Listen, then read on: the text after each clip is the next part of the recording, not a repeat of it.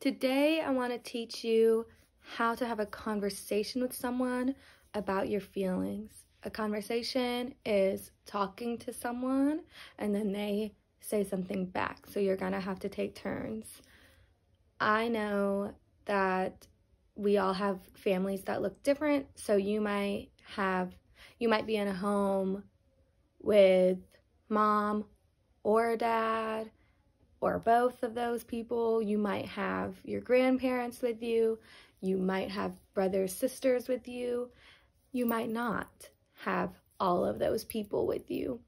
So I'm going to show you um, a couple different ways to have a conversation. You want to make sure that whoever you are talking to, that you're comfortable with sharing your feelings. Um, so you choose the person that you want to talk to. If you don't have any of those people, like everyone is at work or everyone is sleeping, you can talk to a pet. So, like if you have a dog or a cat or a rabbit, you could talk to them. If you don't have that and you have a favorite stuffed animal, you can talk to them. And if you don't have that, then a good way to kind of express your feelings. So it's kind of like talking.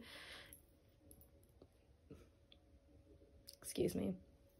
It's kind of like talking, but it's writing instead. That's a good way to get your feelings out there.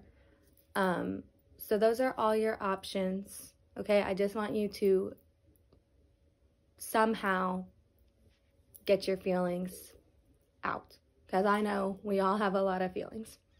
So today I'm going to use a stuffed animal. Since both of my parents are busy and my pet is sleeping, I'm going to use my stuffed animal. A conversation means you take turns, so I'm going to go first and tell my stuffed animal how I feel. I feel happy because I thought it was going to rain today.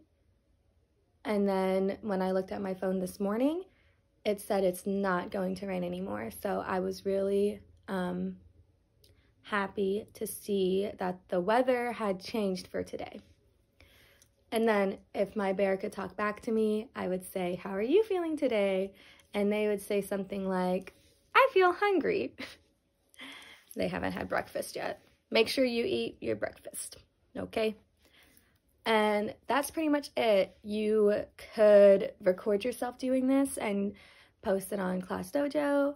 You could um, practice writing and drawing a picture that matches what you wrote. So if I said I feel happy, I should be drawing a happy face, not a sad face or an angry face. You don't have to do those things today. You have to do that on Friday. But it's always good to practice, and I would love to see your work.